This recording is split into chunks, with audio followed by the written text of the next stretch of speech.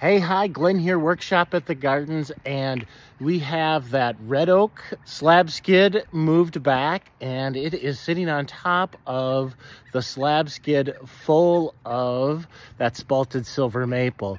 Now, we got a compression pallet put on the top of the spalted silver maple, cranked that one down nice and tight, moved it back here first. Then I grabbed the red oak and brought it over. I put those pieces of metal up on top. That just sheds water for now. But don't judge my chapter 5 by your chapter 1 or your chapter 20.